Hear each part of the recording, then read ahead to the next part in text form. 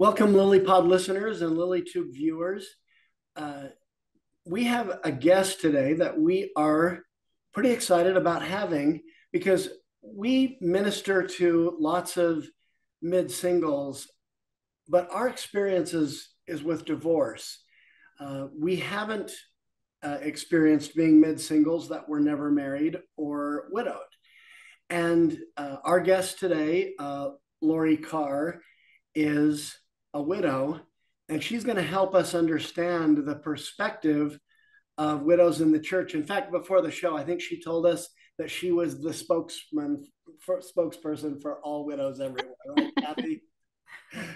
yeah, actually, she she she knows that everybody has their own experience and that she can't speak for everyone, but she has an really quite an amazing journey and story that I think that a lot of uh, widows and widowers will relate with her and the the things that she understands about the challenges that you face uniquely. So we're really grateful to have her. So I'm just going to give a quick introduction so you can get to know Lori, and then we're going to dive in. Um, Lori Embry Carr was born in Rexburg, Idaho. Her parents divorced when she was eight years old, and she spent the remainder of her youth flying back and forth between her parents' home in southeastern Idaho and Southern California. She looks she likes to say that she is the perfect mix of a city mouse and a country mouse, equally enjoying small town parades and big city lights and sandy beaches. Lori met her late husband, Chris, at Ricks College, and then they were sealed in the San Diego, California temple. They were married for almost 25 years before he passed away in an accident in January of 2020. They have four children and two grandchildren to which she is wholeheartedly heartedly, sorry, wholeheartedly devoted. Lori has an associate's degree in communications and certificate, certificate in horticultural floral design. She loves all things domestic and has enjoyed being creative in her chosen career as wife and mother. She especially enjoys interior design, organization, and landscaping architecture. Most recently, she's taken up learning the electric bass and enjoys performing concerts for her kids, who humor her sometimes, but often ask her to turn that thing down. Lori is very dedicated to the Lord and to her membership in the Church of Jesus Christ of Latter day Saints, and she is serving currently uh, in the Young Women as well as ministering to her beloved sisters. She also ten, attends the temple often and hopes to become a temple worker at the Orem Temple when it opens. Lori began dating again in January 2023 after taking time to heal from her husband's death and learn more about herself. She recognizes she recognizes that this is an ongoing process as we never truly move past the death of someone we love. We just move through it and we are always learning about ourselves. She currently resides in Provo, Utah with her youngest teenager. Please send help and chocolate. and she is fortunate to have her other adult children and grandchildren close by. Welcome, Lori. We're so grateful you're here. This, Thank you. Yeah, this is going to be a different kind of podcast for us, and we're really glad that you reached out. So, you, um, when you uh, reached out to us, you had mentioned that you take us on a walk with you every day on your walk. So, so you listen in with your headphones on, and our, our voices get distorted, I think, because you listen on one and a half times speed. Yes. Um, so they're they're a little bit higher and quite a bit faster when we go on our walks together than they are here. and you know, I thought that was so fun when you mentioned that you take us on your walks with you, and that it's like having a friend walk with you. And um, I would love some time for us to actually take a walk together. I think that would be really cool. we like hiking, so if you want to go on a hike some Saturday. yes, I love it. Yeah, the canyons are right here, and it's it's Absolutely. a lot of a lot of fun. Yeah, we just live along the mountain front and here in Utah. Um, different mountains backdrop for both of us because we're in different areas, but that Wasatch Front, you know, this is beautiful. Yeah. My son and his wife and and our grandbaby live down there too, so we like to have excuses to be in town. Yeah, in the Orem Provo area. Yeah. yeah. Well, it'd be great to go on a walk together, and then I could actually get feedback when I have questions. walking, it's like walking with a friend because you it, it's very conversational in the way that you two do your podcast. Um, and often as I'm listening, I feel like I've just asked a friend a question and they're responding to whatever I ask them. Oh, that's cool. And then I think you reached out because there was another question you had that we hadn't addressed yet. And that's why we asked you to come on, essentially, because in communicating back and forth, there's some things we've been missing um, naturally because we don't have your experience. And that's why we're so grateful to have you here. So um, let's dive in. Um, so you uh, you mentioned in your story um, that you were you married and sealed to your husband in 95 1995 and you were 22 years old at the time. And um, and then um, you know just like most people it it was ups and downs. Like you had your strengths and your weaknesses. You had your um, good times your bad times um, and then that accident was uh, electrical. Is that right? Yes. And so in January of 2020, it was like just a sudden change for you, like totally yes. unexpected. Was Chris an electrician? No, he was a property manager and oh. and property acquisitions, and they had just purchased an apartment complex in Salt Lake City, and he was a very hands-on um, property manager and decided he wanted to go and hang a banner on the side of the building and somehow came in contact with a power line while he was hanging that banner. Oh, so sorry. And you also mentioned that one of the hardest parts about this, and it would have been hard anyway, is that he you weren't able to see his body.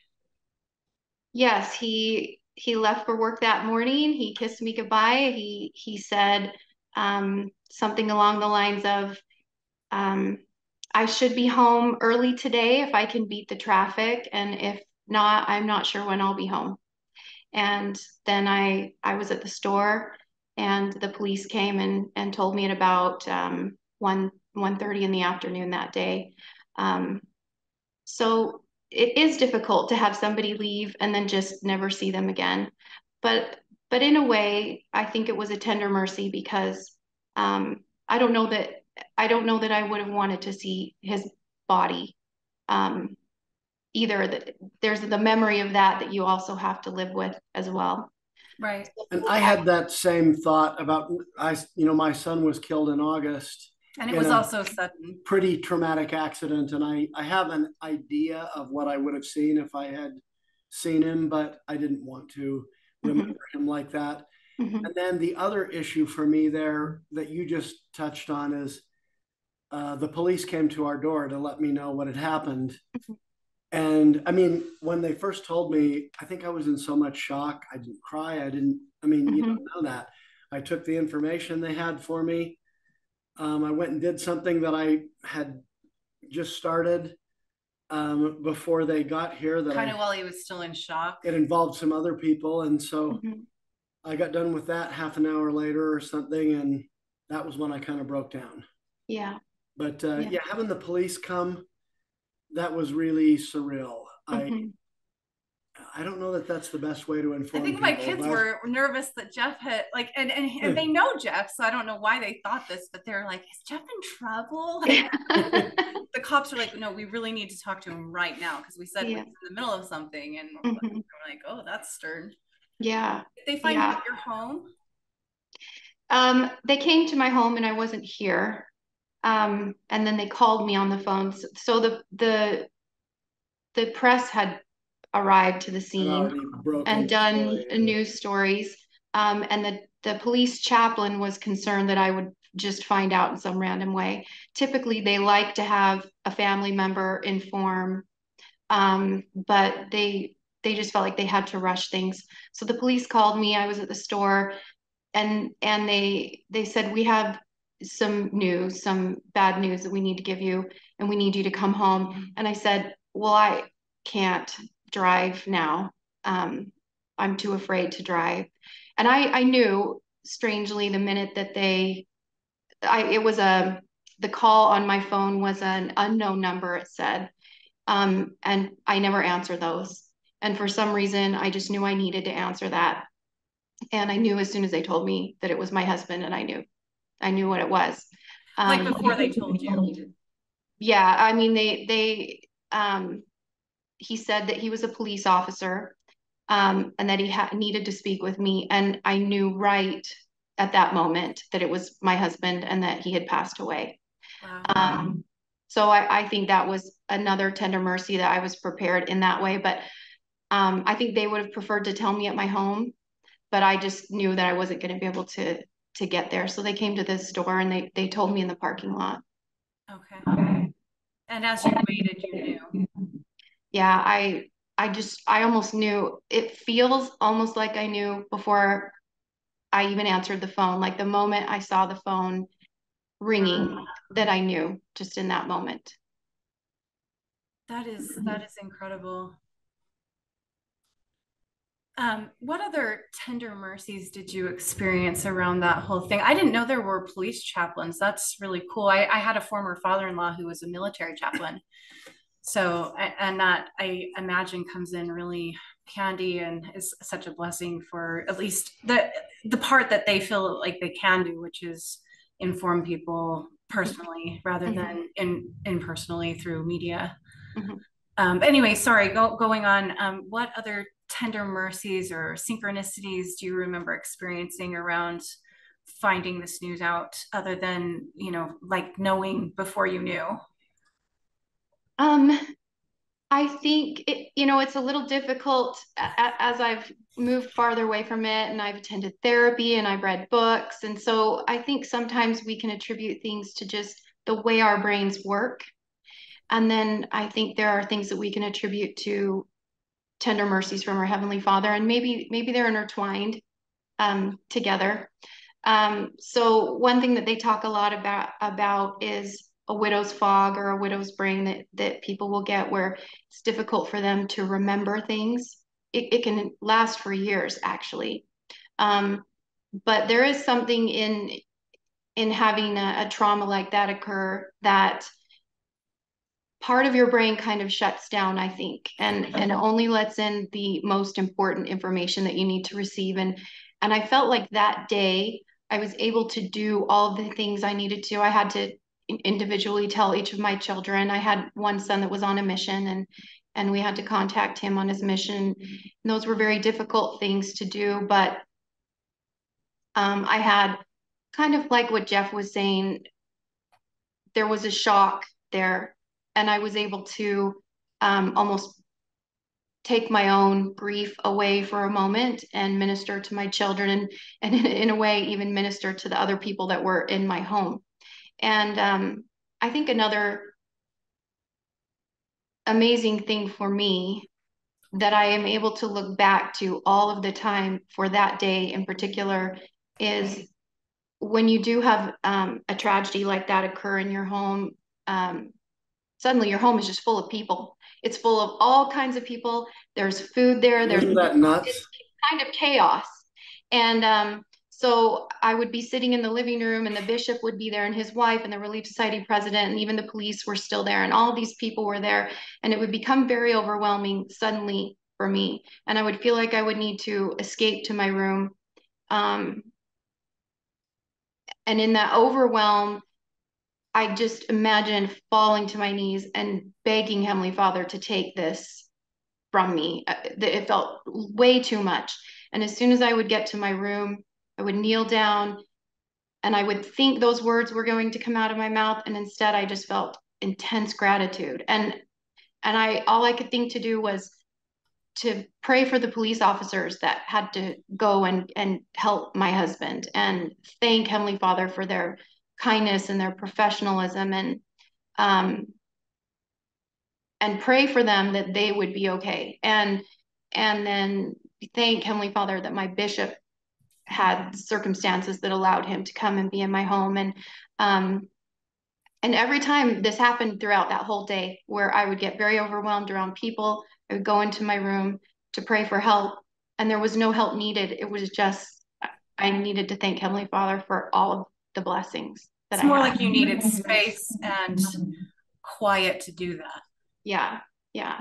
That but it was just instant. It was just an instant thing. As I would kneel down, that overwhelm would go away and that gratitude. And it was, I've never felt so full of gratitude in my whole life, which is a very odd kind of dichotomy because I just had this horrible thing happen in my family. But that day, for some reason, it just went from feeling overwhelmed to feeling total gratitude and and and back and forth. That didn't last. That that intense feeling of gratitude, but for that day, it did. Let, let me ask. Let me ask you something. That's amazing, and I'm I'm so glad you shared that with us. Because one one conclusion I've come to, you know, since my son passed away, was even though it was intensely painful, and it's still I still have intensely painful moments with it. Um, today is his birthday. In fact, the day we oh. were recording this. Um, but uh, so so those are kind of poignant moments, I think. But but I think about it um, like, all right, if I had my life to live again, and I could choose to be his dad and go through the pain of losing him or not be his dad and be spared that, what would I do?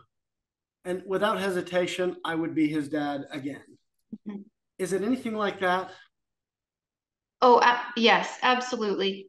Um, it was just gratitude for the current circumstances of all the people who were helping me at the moment, but then the gratitude for the life that I got to have because I had been with my husband for those 25 years and all the things that he had done um, in a way even to prepare me for that moment and to prepare our children to live without their father here on the earth. I just um, could never imagine going back and saying oh no if i know that my husband's going to die in 25 years no no thank you i'll choose somebody else that's going to live longer. I, I just can't imagine that.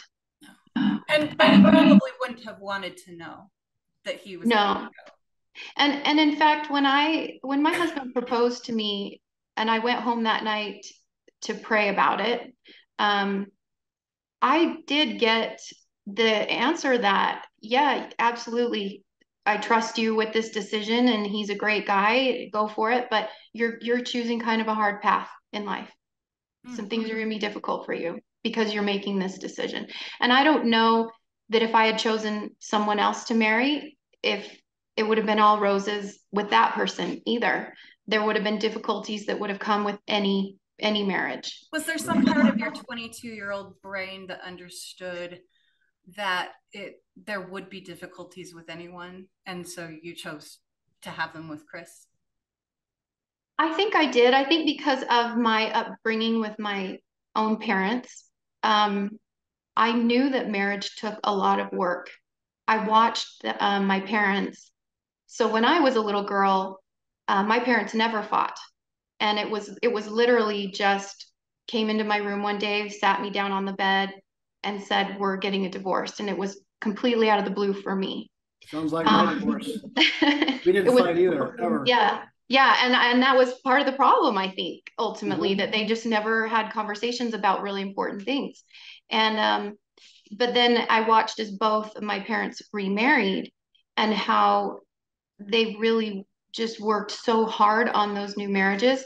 They also worked on forgiving each other and creating a relationship with each other that I can say now, all of these years later, and, and they had told me this as well, that they grew to a point with each other that they loved each other like brother and sister. And um, I've had many holidays, many Thanksgivings and Christmases where both sets of my parents were there because they were invited by one or the other to come and attend that that celebration. There was never a time where I had to be worried, like at my my wedding reception, if I was going to sit mom and dad at this table and um, you know, mom and dad at this table. I I just never had to worry about That's them. So great for um, you. Yeah, the it, it's a real example to me of what taking personal responsibility and then forgiving the other partner and then allowing Christ's atonement to come in and heal both of you. Um, and then to move on into healthier interactions yeah. with other people. Yeah. So so I was able to see that I think and I I knew at 22 that that marriages took a lot of work. Um it's almost like Heavenly Father knew you needed to know that, like through the way He answered you.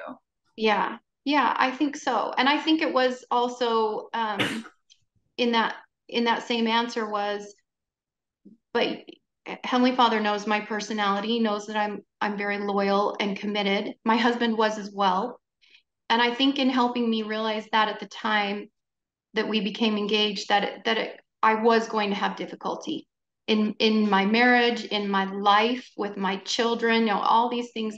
I wasn't getting married to run off to some fairy tale castle somewhere. And um, i think knowing that made any of the difficult times the times when maybe my husband and i wanted to give up on each other that that we didn't because right we, because and you and you could have expected that based on your revelation and and your choice mm-hmm. Yeah. I'd like to, to ask you to dig a, a, little deeper on one of those points too, because I believe you told us that you had some regrets at points in the grieving process that uh, regrets about times when you maybe weren't as kind to him as you could mm-hmm. have been or had unkind thoughts or said unkind words or I, I don't mean to speak for you but can you talk to us about that and how how that kind of unfolded and where you went with those thoughts and feelings? Yes. So, um, my husband and I are both very passionate people. Um, we we have a lot of opinions, and some of them lined up really well, and some of them didn't. Um, and I wouldn't want to say that we're both very demanding, but I think we both knew we could count on each other for certain things. Um, so when we let each other down, it was almost, it was like we forgot for a moment that we were each doing a kindness or a good thing for each other. We had, we had grown to where we just expected it sometimes. Mm-hmm. Um, and so there were times when either one of us could be short with the other, um, impatient, you get tired you you get used to your companion and you're not your best self all the time i think all those things are very normal and to be expected in marriage but but when he passed away um i think regret can be a normal part of the grieving process and that survivor's guilt can can be a normal part of the grieving process and for me it felt like all of those times that I let him down in whatever way, whether it was um, losing my temper with him or just forgetting to do something maybe that was important to him. Um, I felt those very keenly. Yeah. In, in a sense, I felt as if I was being almost at a prejudgment with God and that and that I was being allowed in a way to remember some of those things so that I could repent of them and make changes for them. And I, I even felt the sense that my husband was doing, or maybe even is still doing the same thing on the other side. Yeah. So there's almost a little bit of connection associated with that. Mm-hmm. Interesting. Well, I I actually think that some divorcees who choose the path that you did, which was to learn about yourself to grow from this experience find themselves it's not survivor's guilt but it is a form of guilt associated with what you know what do i remember doing in the marriage that you know contributed to the dissolution of it? And mm-hmm. some people can get stuck there. But i mm-hmm. love the word you used was repent and change that when we repent and we change we move forward rather than like stay stuck. Mm-hmm. Mm-hmm. So, and I think I can relate with. I think with any ending of a marriage, whether it's through divorce or death of a spouse, you're probably going to have some regrets. I can't imagine any marriage being so perfect that a person can't look back and see something that they might wish that they had done differently or that their spouse had done differently. So I definitely think that. Um, but we're more sensitive to it when there's so much pain surrounding the loss of that person. Yes, yes. But even with divorce, there there is still there's still the grief. You're you're grieving the loss of a marriage. Oh, you're grieving the loss of a sure. future that you expected to have with that spouse. Um, well, and everything wasn't always totally bad with my former wife. I mean, yeah, there were times when we were a loving family and we took vacations together that were memorable and fun and you know, all kinds of stuff.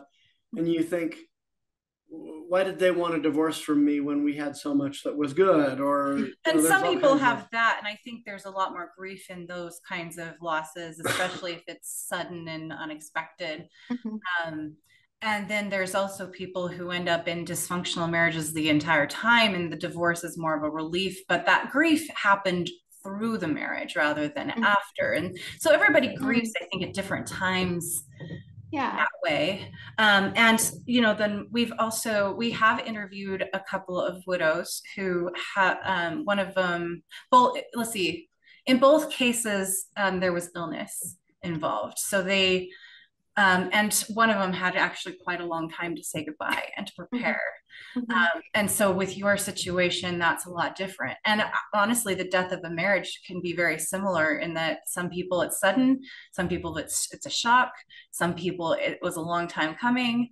Mm-hmm. And um, the fact that you have experience with your parents having gotten divorced and then seeing their journeys thereafter it seems to me that when you later opened yourself up to dating again, um, that you can relate with people who've been divorced more than most.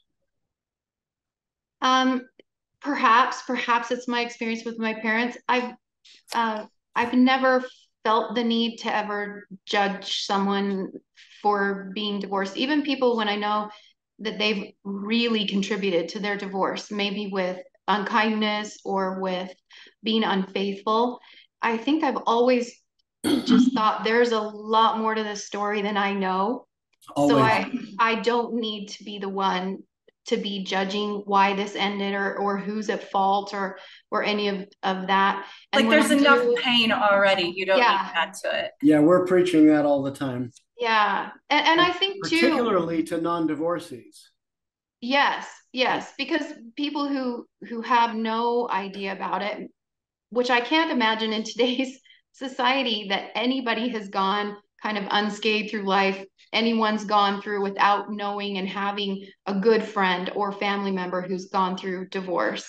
Um, oh, I just lost my train of thought. I'm so sorry. Okay. Um, I think as I've met other adults, especially as I've started dating men. Um, all of them have been divorced. Um, I think that for me, I look at that that big word, divorced, and I don't think a person should be judged their whole life based on that one word. I've never thought a person should be judged on the one worst thing they've ever done. I think that there's always so many parts to a person. And um, whether that divorce was a person's fault or their spouse's fault, or they mutually contributed to that divorce, which is typically the case, um, there's always room for them to grow and change. And I wouldn't want to put someone in a little box that says you're divorced, so you're not worth my time. I, I love that you said that and I'm sure our odd listening audience will really appreciate that too. Um, and it reminds me that the what you reached out about, I believe, was when you listened to thoughtful labeling, episode 34, and because um, we in that we talk about not labeling ourselves as you know what our experiences are as if that's all we are mm-hmm. um, but just to radically accept our experience and be all the things we are. Yeah.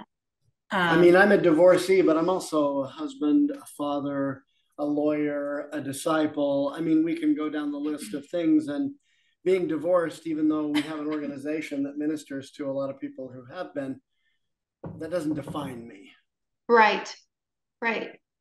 And and actually you can look at it and say because of my divorce, which I think you have both said many times, you're the person you are today. You've learned valuable life lessons that For you sure. couldn't have learned any other way. And you're, because of the way you chose to come out of that, you're a better person than you were before. Yeah Absolutely. that are more prepared for each other for cert for certain mm-hmm. um, you know because we've teased about the fact that like oh well why couldn't we have just met first off well i mean there's lots of reasons that wouldn't have worked but um, one of them being we're we weren't who we are now and we right. couldn't be without being prepared mm-hmm. um, and that's what really makes the magic for us mm-hmm. and what i think makes the magic for a lot of um, later married couples who find um, that love after that really hard journey of loss and recovery and healing mm-hmm. and discovering like you said, said figuring out who you are without your partner who you've been mm-hmm. with your whole adult life mm-hmm. um, you know i I know this might be a little bit skipping forward, but I'm wondering if you could speak to the concern you had about the label of being a widow that you feel is very difficult to get away from in like in the dating world in the in the complications you've found? Well um i think there's maybe two parts to that and one is that i think a lot of widows do want to hold on to that label. I think a lot of widows grief for a very long time and they want people to understand hey this is a label i'm putting on myself. I'm a widow or a widower. And um and i want you to know i'm hurting. I'm not just mm-hmm. single. I didn't just get divorced. I, I almost think that there are some widows that want to almost elevate themselves and say well mm. i i didn't cause a bad marriage or have a bad marriage or or my spouse didn't hurt me in that way so divorce, I, I could never label myself that way. And I'm not just single, but I'm widowed. Um, this bad thing happened to me. And I think it does take some time for people to get away from that and and get to the point where they can either say I'm widowed and it, and it just like checking a box on any form where they ask you, are you single, married, or widowed? It's you just check the box, or they it's they not a big emotional thing every time you check the box once you're ready to just check the box and just have it be a fact.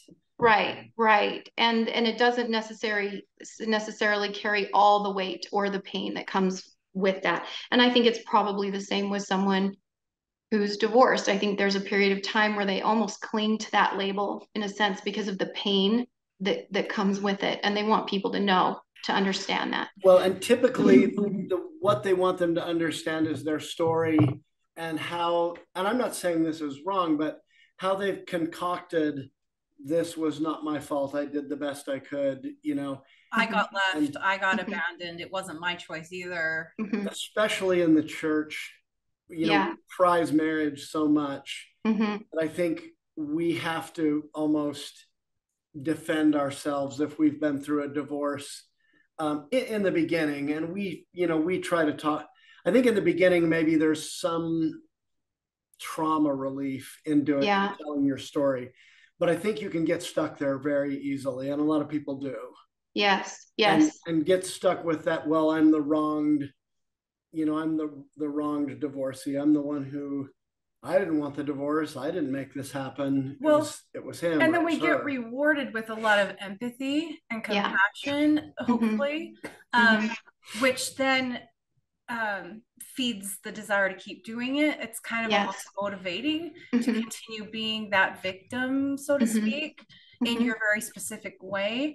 Mm-hmm. And although I think everybody's story has you know some obviously it all has validity mm-hmm. there is a lot of pain involved there's a reason why people tell their stories mm-hmm. um, but it also has a price because then we're disempowered to move forward and to build a beautiful life when we're busy feeling stuck in the loss and the grief and the label of I really have this hard thing. Like, and, and, I mm-hmm. remember telling people all the time, I'm a single mom, I'm a single mom, I'm a single mom. Like, and you know, single moms do need some empathy and compassion mm-hmm. because mm-hmm. there you've got a lot on your plate, right? Yeah. Um, but not to the degree that it disempowers me to show up as I'm a single mom and I'm a disciple and I um, I'm a musician and you know I'm all the things like I'm not just that.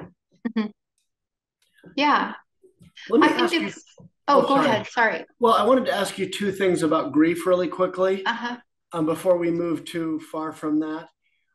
One is, um, I think you said that you you found yourself sometimes thinking you were through a particular stage of grief and you would find yourself back there for a while and that you kind of skipped around the different the different stages and can you um, maybe elaborate on that a little bit yes well so right after my husband passed away of course everybody was giving me books so i i probably mm. got a dozen books on grief um, on life after death, all, just the whole gamut. So I was just I'm reading all of these books. I'm I'm thinking I'm going to do this the the best way anyone's ever done grief. I'm going to do that. I'm going to read that's all these awesome. books.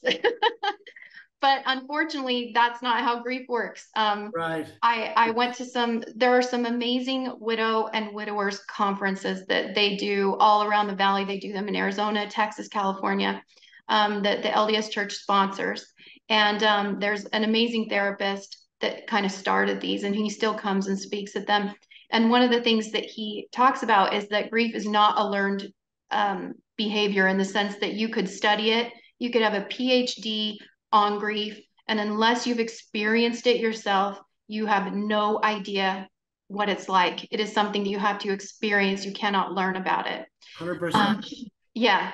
So, and it's, and I think too, to add to that, your grief is going to be different for different people in your life. So when your parents pass away, it's a different kind of grief than a spouse or a child. It's or a friend or a sibling, um, and and at different stages of your life, it will also be different. So obviously, my ten year old grieved the loss of her father differently than I grieved the loss of my father when I was in my forties. Um, right. So that that is something about grief but the but the skipping all around so i would became very familiar with the five stages of grief um, and I thought, okay, I'm gonna I'm gonna go through these stages, and then I'm gonna be cured. And it's gonna be a perfect order. yes, but that's not how it works. And in fact, those five stages were were created for people who are actually dying. That that that was not made their own death. Yes, they were grieving yeah. their own death, not for the loved ones that were being left behind. So uh, I do think maybe some more research needs to be done on that uh, to clarify that for people. But um, yeah, you you'll go through. I, for instance, denial and and not being able to see my husband's body. There were times when I fully accepted that, and then maybe six months later, I just have this little thought come in my mind, like maybe he didn't really die. Maybe I imagined that. Maybe maybe he's in the CIA and maybe they all made it up. yeah. Um, so it would just come at very odd times. And like you're on the Truman Show. Yes. yes. I mean, Lori, my brain still. I mean, it's been eight months or something since my son's death, but my brain, I'll still find it going there where it wants to try to find a way out. Yeah. Um, yeah. And uh, of course, I come to my senses as soon as I realize that okay, yeah, short of the second coming, there's not a way out. You know? Right. Yeah. Um, so yeah but, but yeah um, my brain still wants to go there it's like in self-preservation mode that way or something so that denial right. like you said it kind of creeped in six months later after you'd already experienced acceptance yes yes and then and then i've never actually felt myself be angry with god about his death but there was a period of time where I was very angry with him. I was angry that he was careless. I was oh, angry that he didn't prepare us as much for his death as he could have. I was um I was angry that I was dealing with an unruly teenage boy and why wasn't my husband here to to help me with this thing? Um, and I was angry at, at, past things that I felt were not resolved in our marriage. And, and so there was even a period of time where I I wouldn't say that I demonized him, but but in my mind I almost had to make him out to not be a very good husband. Like I like to cope for a little while. I had to think to mm-hmm. myself, well, he wasn't that great of a husband anyway. So that that lasted a certain period of time. And occasionally I'll come back. I'll have a hard day and I'll think, why am I out here shoveling all this snow? I shouldn't have to be the one shoveling. My husband should be here shoveling.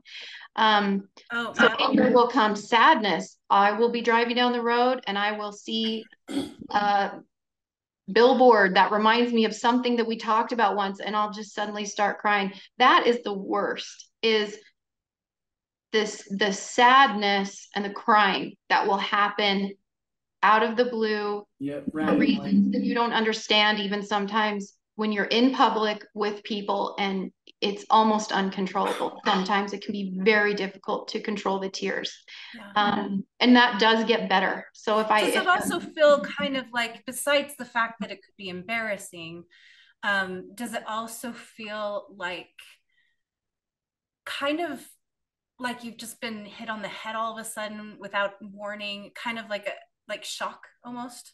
yes And yeah so because then you think walk you're around- done Right. And then Yeah. you walk around knowing that at any minute you could get shocked again. yeah I'll, I'll tell you something crazy about that, Well, Lori. I, want to hear what she's going to say. real I know. Let me just say this real fast. right. My son, my husband, I don't have a husband. My, my brother died when he was 17. He died of cancer, Mhm. but that was 30 year, almost 30 years ago. It was in October of 1993. And uh, so he's been gone a lot longer than he was actually here. And yet I can still have a moment. It happens probably two or three times a year now, is all. But where I'll think of him in a certain way and I'll start to get teary even now. yeah And with my son, you know, it's more frequent than that now. Um, at you know, the first week or so, it was every hour. Um, but I, I think that does lessen with time. But part of what I have had to accept with my son's passing is, you know, I, I'm accepting the fact. The most important thing to healing is accepting the fact that I'm not going to heal, that I'm not going to completely get over it. And I don't Mhm. even really want to get over it. yeah Uh, I mean, you know, I don't want to obsess about it 24 7. But anyway, I want to hear what you had to say, but I thought that was an important place to insert that thought. definitely i think getting over it would imply that you never truly loved your son Right. um, and you would never want that. So his life had meaning to you, and you as a father, you had meaning to him, and you can't get over that. No. Um, and I, I think that can be difficult when you break down crying in church and people want you to have gotten over it when it's been even a few months later. They want to think you're doing great. Nobody wants to know They don't want to be uncomfortable. Yeah. And they don't know what to do. And frankly, for the most part, there is nothing they can do. They can bring meals, they can get you out on a walk or, or take you to a movie. Um, but you're still gonna come home. Yeah, you're you're gonna come home to your empty bed and and all the things that you're missing. I think um one thing that somebody shared with me that was really helpful with the grieving was they said grieving is kind of like when you're in the ocean and you're at first you're getting in and you're getting in deeper and those waves come and they topple you and you're under the water and you can't quite tell what's up and what's down and you're gasping and you're just trying to get up out of the waves. And then you get up and another one comes and knocks you down again. And this happens over and over and you you're barely getting enough breath. But then the next time you come up you have maybe a minute or two before that wave comes. And then the next time you get up maybe you even get a few minutes of just those nice rolling waves where you're just kind of body surfing and it just feels really relaxing and nice and you think everything's going great and then a wave just comes and knocks you down and you never really know when those waves are going to come and they get farther apart Right. but they still come and you can't necessarily know when it's going to happen so that was really helpful for me as i went through the process to maybe not put so much judgment on myself even though i do sometimes still put judgment on myself but to just allow myself to feel sad to feel angry to feel denial to bargain all of those things that we do. And then even to feel acceptance sometimes can feel like a betrayal of the person that passed away. When you accept that they're gone and you even feel like you're okay. And and that's where i am now. I feel i still miss my husband. I still love my husband. I'm still so grateful for the life we had with each other. But i even have dreams sometimes where he comes back and i say oh chris you can't be here all all your clothes are gone. I've sold your car. Um, you know, I moved and we don't have room for you. There's not room for you anymore. We've we've we've moved through our life, and I'm trying Does to convince that back to survivor's guilt. Um, it does. I think uh, sometimes you can feel great about your acceptance. It all feels really good, and you're moving forward, and then it will just a little thing will just click in your mind, and you'll think, "How can I be moving forward without this person?" This is a betrayal of this person. You know, um, interesting um, that you would call it betrayal because I remember feeling to the the point that if I accept my divorce, I'm disloyal. That was more the word. So it was like a different word, different feeling, but mm-hmm. still kind of a like a questioning of is it okay to accept this? Yeah. Yeah.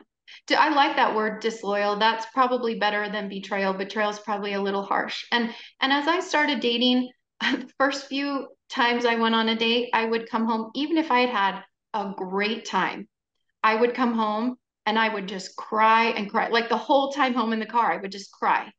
Um, right. because it was so confusing. It was confusing. That was not Chris. Yeah, it wasn't him. In a way, I wanted him to be there. I wanted to talk to him about my date. Um, I wanted to come home Have to you him. ever tried to talk was, to him about your dates? I do. I actually I actually talked to him about a lot of things and I've I've let him know that I need him to help me to find the right men to date. That it's important to me that he um, helps guide me in that direction because That's he knows beautiful. me very well. Sun, Sunshine Johnson experienced the same thing where she her her um her um late husband actually did lead her to her current husband. She's now remarried and and there was definitely that connection between the three of them mm-hmm. and um, she tells that in her story when we interviewed her but like um, it's interesting that you're experiencing something similar you're not as far in your journey yet and you're not remarried yet but mm-hmm. you're saying like i'm including him in this process that's mm-hmm. part of my journey mm-hmm. That's really and I, feel very much like he would want me to not go through the rest of life alone. Um, we talked i think many spouses talk about what would you do if i died? And and um, we we actually had a conversation once with another couple and we ended up having someone ask that question and the man of the other couple said oh no i would never get married again i i've been there i've done that i would never get married again and my husband said i'd get married right away and then mm. another person said, Wow, how does that make you feel, Lori, that your husband would get married right away? And I said, That makes me feel good. It makes me think that he had a positive experience and he, he wants to do that again. Like um, marriage is great and yeah. i know it because lori was awesome yeah and i and i feel the same i think my husband did a great job of helping me see the realities of relationships and the and the work that needs to be involved but also that when you work together, great things can happen. That's a really mature response. I actually really like that. Um, I'd love to just go back to what you and Jeff said about grief and the ocean waves that you referred to, and what um, I think Jeff said was just like it's just those feelings come now and then, and they get fewer and farther apart, but they're always there because you loved because mm-hmm. you loved someone they're always there mm-hmm. um, and i would imagine like that that shock of the being knocked down that or the embarrassment that might you might be tempted to feel because you're in the presence of other people when it comes because you can't predict it right uh-huh. um that that would could cause a lot of anxiety mm-hmm. unless you surrender to it almost like i'm just yeah. gonna let the wave knock me down mm-hmm. and i'll be able to get back up after it knocks mm-hmm. me down it'll be fine like almost like an acceptance of the shocking the shock that you can almost anticipate but not when yeah i think that's a,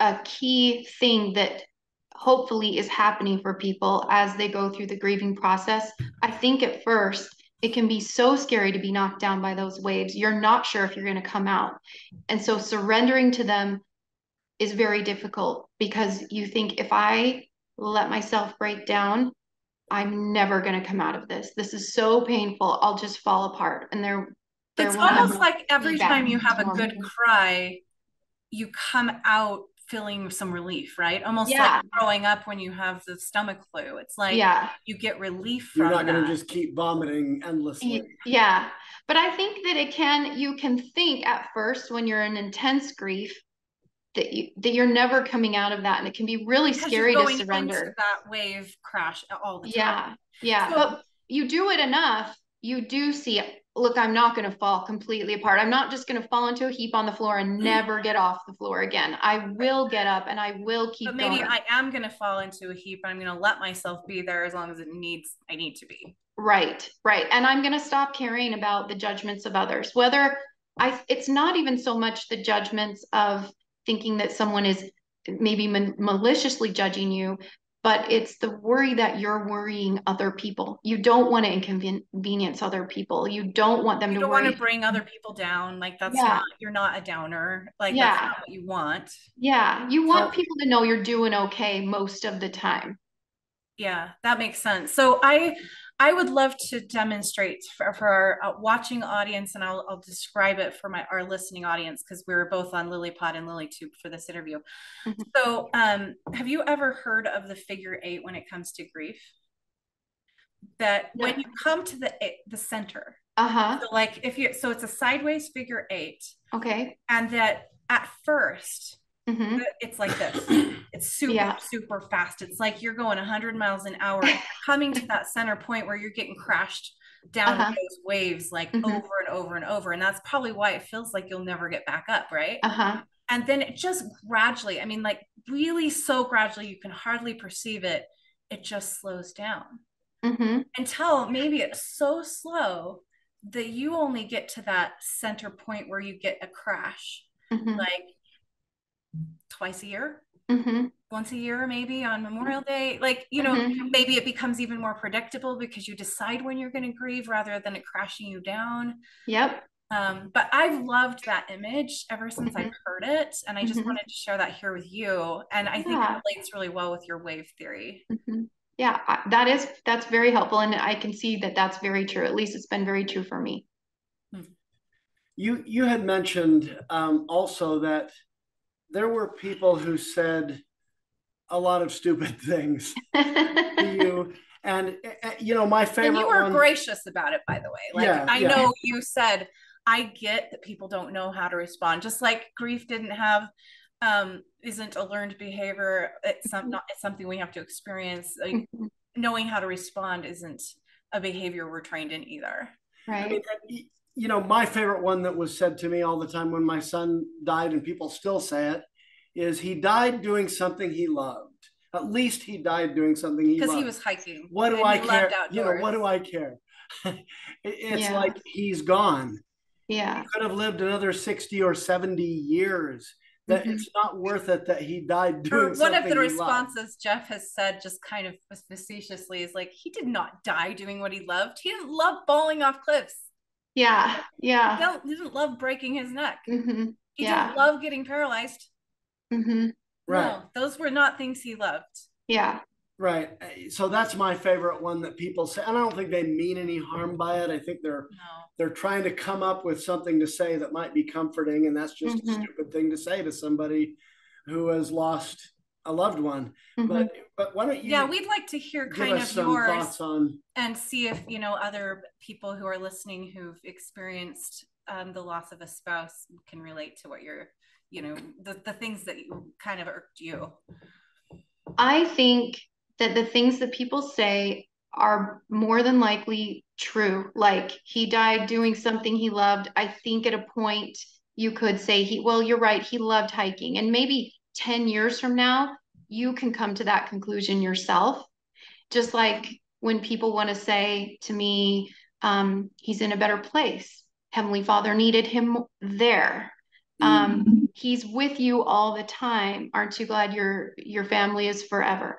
All those things are in a sense true, but they're they're I believe they those are sentiments that a person needs to come to themselves. right.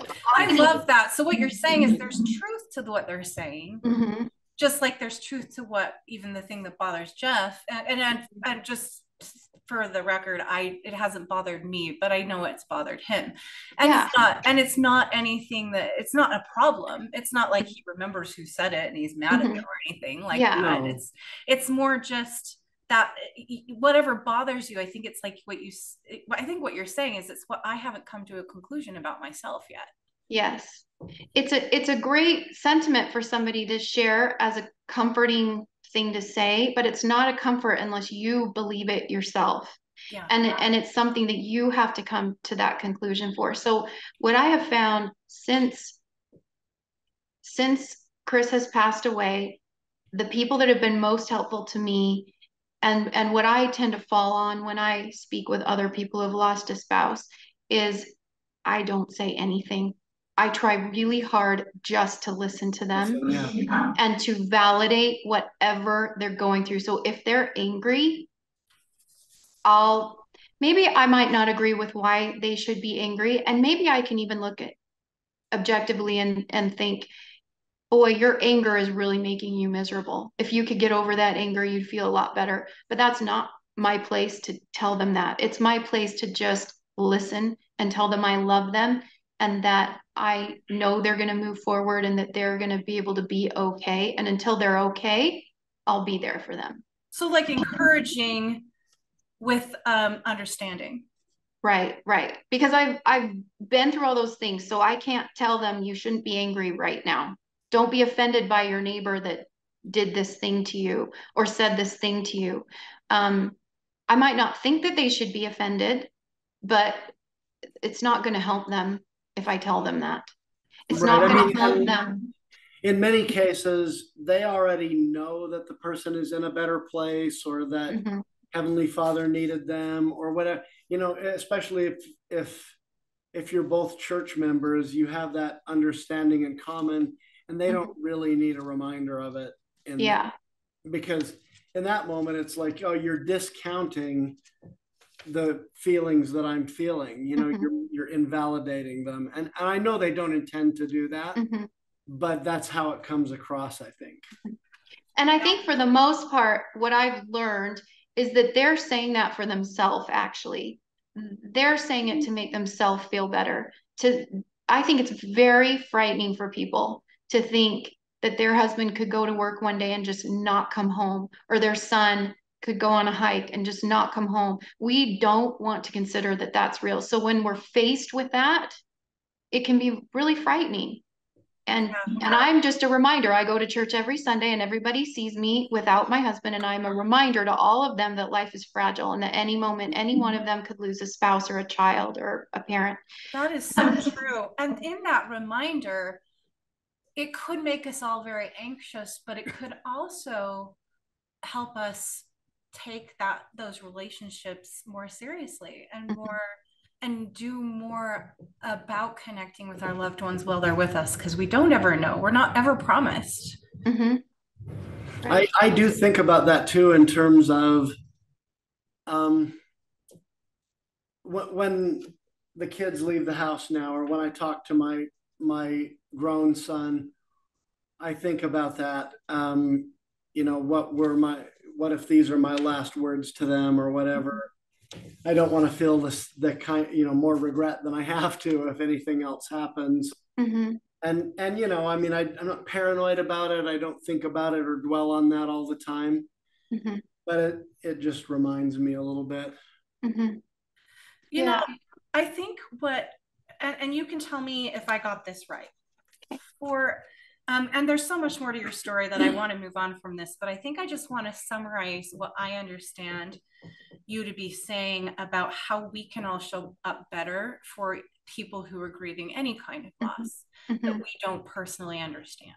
hmm First of all, bite our tongues hmm and try not to give advice or tell them how they should think about things or tell them what we think about their things hmm because we want to allow them the agency of coming to their own conclusions in their own time hmm and that be a good listener when we bite our tongue we're a good listener yeah we're a Mhm. good listener and then when we do respond you know we do so with um, validation of their of where they're at even if it's not where we hope they'll be someday. It's where they're at.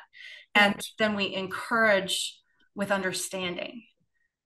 Like we gently nudge them in a direction that will be helpful without, you know, telling them where they need to be. Mm-hmm. Mm-hmm. Um, and and then kind of to your point um, on the life is fragile and that you're a constant reminder of that you know i know that that could lead to more survival survival guilt for you like the i'm making everyone uncomfortable feeling um, but i also think there's a gift in it because when we realize life is fragile because i lost my sister when she was young um, in fact jeff and i were both about the same age just had our first child or what i think for you you're about to have your first child and um, our youngest sibling, um, our my youngest sister, his youngest brother died at that stage of life for each of us before we knew each other. And I remember putting on a lot of like um, old passwords, like life is short.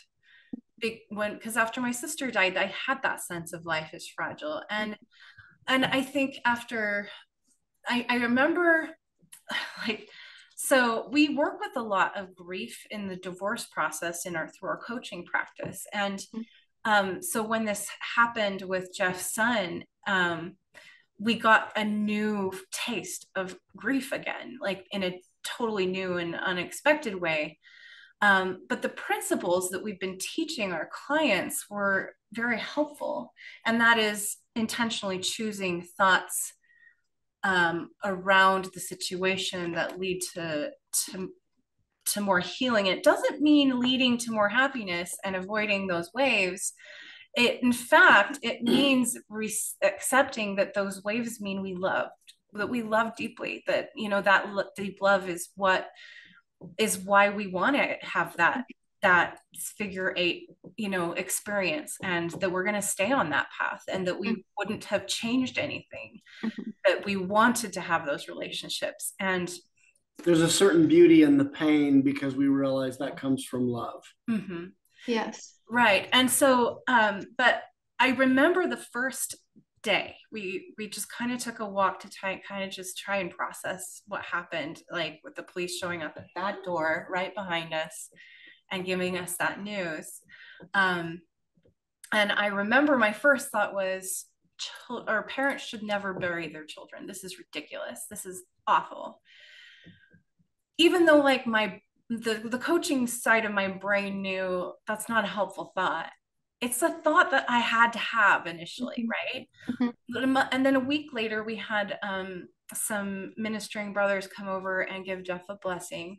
And mm-hmm. after that, they didn't say anything about Henry, uh, about his son and losing his son. They said something about their own experience that really resonated with me. And I decided to adopt their thought. And their thought was my mom always told me, and this was based on her own loss, mm-hmm. that no one ever dies before their time. Mm-hmm. And I thought, you know what? I think that's a more helpful thought. I'm going to adopt that thought. Mm-hmm. But I had to be, like you said, I had to be ready mm-hmm. to receive that mm-hmm. that new idea. And I liked how it was delivered, which was just this is what my mom said. Yeah. Based on her experience. So I do think if we're going to share anything, we share it unassumingly. Yes because that helps a lot. I think yeah. sometimes when we offer a, a, good thought, they might on their own accord accept that thought mm-hmm. or embrace it and integrate it mm-hmm. without us needing to tell them they need to have that thought. Yes. So, yeah, I I mean when you when you go into therapy, um oftentimes your therapist doesn't tell you the answer. He might ask a question or or not even to you, but it almost seems like into the air like i wonder what would happen if i if we thought about it like this or i wonder i wonder sometimes about this thing. And um i think with with you talking about the bishop just saying that about his mom he was he was giving you the chance to decide whether you wanted to adopt that thought for yourself instead of telling you you had to adopt that thought for yourself Mm-hmm. Is yeah, that what it was very yeah. unassuming and unrelated, really. It was just him sharing like yeah. authentic experience. Yeah. So do you think I got that right? That like that's Yeah. what I would advise on how to show up better for those who are grieving? Yes, absolutely. And I think just if you're with somebody and they fall apart, let them fall apart. If they're angry, let them be angry. Just let them feel the emotion they need to feel. Because I think we live in a society where we've been taught stop crying, don't be mad. Um, all, all of that is negative emotion when the reality is it's just real emotion and it, it's how we handle the emotion that's the important part. Mm-hmm. Let me throw out one more thought for you on this subject because I'd like to, to get your take on it. Um, on, this subject of, of grief. I, I know when I was going through my divorce, which is not the same thing, but it, but it is a grief experience. There were times when I didn't necessarily want to talk about it. There were certainly times when I did. Mhm. But there were times when the whole subject exhausted me and I wanted Mhm. to be somewhere else, doing something else. And I have a cousin who used to have me over to his house just to watch sports, to get wings, to, and it really helped me feel like a more normal person Mhm. uh, than I was in the midst of just this all consuming grief and pain and regret and disappointment and all of that. Um, so that that's one uh, one thought, and then the related Kind of like another thing we can do for people who are grieving is just allow them to have a normal moment. Yes. and so I don't think we should push that talking if they don't really want to. Mhm. And then the other the other uh, thought, I guess, is I think at church you mentioned feeling kind of isolated and like you didn't belong there, and Mhm. and so speaking to people in our audience that may be on the other side of this where you know they don't know quite what to say to someone who has lost their spouse um, in our case i think some people after a divorce people almost think it's you know maybe it's catching maybe i'll get it if Mhm. if i interact Like with you this said, the life is fragile uh, in Yeah. your case kind of thing. or, Yeah. or, the, or the other one which i think is am i sure if i interact with this person that i'm supporting the right person maybe the other person maybe they were at fault I see Yeah, Lori shaking I her know, like, why why do we do that? Yeah. Like, she doesn't do that. and, and for me it's like you know what it doesn't really matter whose fault it was they're a child of god they're in pain let's see what we can Mhm. do you know yeah. regardless of whether of who might be at fault you're not sinning or enabling by being kind to someone who may or may not have made a mistake So let's add Yeah. to this list. Just be kind. Just be Yes. Well, and I'll tell you, I this is something I can't speak to um, about being divorced. I don't know how I would feel about this, but some of the most wonderful things that that were so helpful for me would be when someone would come up to me at church, a man would come up to me at church, and he would say, "You know, I was I was just thinking today how much I miss Chris." I, I worked with him in the clerk's office all those years and I we had such great conversations and I was just thinking today how much I miss your husband. And it felt good to me to know that other people thought about him still, cared about him, that he didn't just disappear to them. So that is something I think can be very helpful to someone is to give them a space to talk about um, their spouse, not in the sense of grieving unless they need that.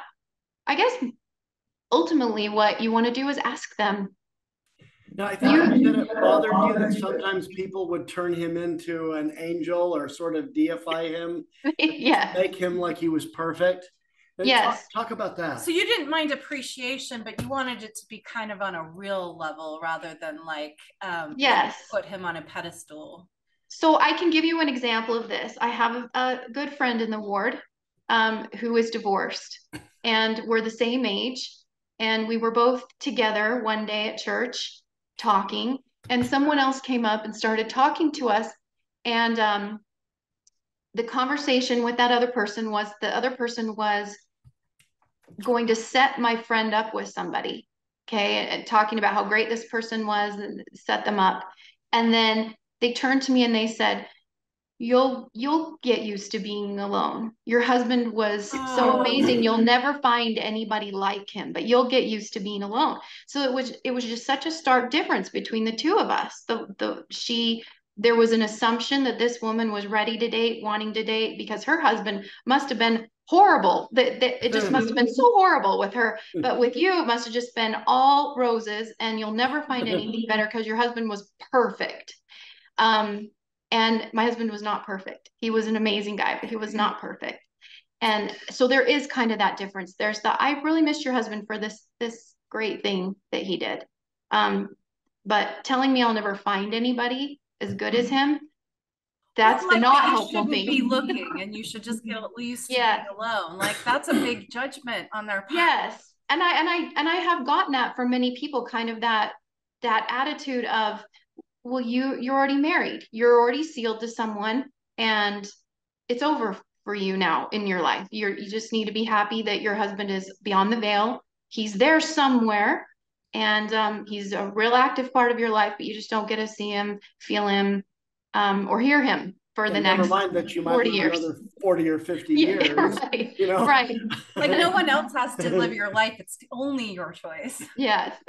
um you know i i love what you wrote in your you know when you kind of told us about your story when you said that it took you a while like over a year to feel the stableness of your singleness like sorry actually you said feel stable in my singleness that's how you wrote it and i love love love that phrase i've never really phrased it that way before but feeling stable in your singleness and knowing that you're not ready to date is huge. Lori, it has been so great to have you here, and I know we have a lot more to talk about. So I would like to put a little bookmark here and um, and have this to be continued. So there's going to be a part one and part two of this um, awesome, amazing, wonderful discussion. And um, we'll say to our listeners for the meantime that Remember, anytime is a great time for more love in your life. Thank you for showing up and watching and listening.